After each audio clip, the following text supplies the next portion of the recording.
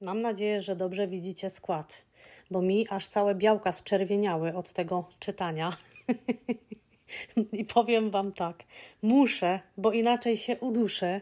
I dlatego dziś pokażę Wam, jak zrobić domowy koncentrat buraczany, w którym nie będzie oleju palmowego, nie będzie syropu glukozowo-fruktozowego, nie będzie aromatów, seratów i tak dalej, tylko po prostu będzie kilka składników, z których wyjdzie Wam bardzo dobry koncentrat o pięknym kolorze, to też zobaczycie. No i co musimy najpierw zrobić? Obrane i wymyte buraki najpierw przeciskamy przez sokowirówkę.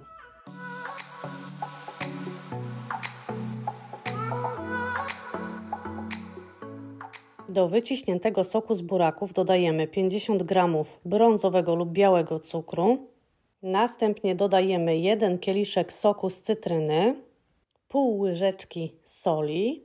No i teraz całość zaczynamy gotować. Oczywiście e, czekamy, aż ten cukier się porządnie rozpuści i aż sok z buraków zacznie się gotować. Wtedy pojawi Wam się taka brązowa piana, którą trzeba łyżką zebrać. I za chwileczkę Wam to pokażę, tylko czekam, aż po prostu zacznie mi się to gotować. No i teraz, tak jak widzicie, pojawiła się taka brązowa, brudna piana z buraków, którą zbieramy łyżką.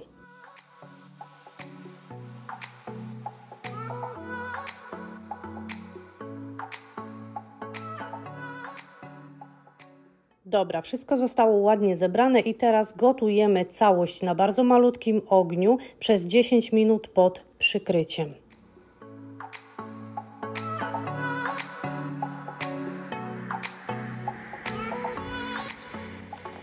Po tych 10 minutach ściągamy pokrywkę i teraz dodajemy do całości 2 stołowe łyżki octu. Raz, dwa. I gotujemy całość jeszcze przez minutkę. Teraz do wyparzonej butelki przelewamy cały ten koncentrat.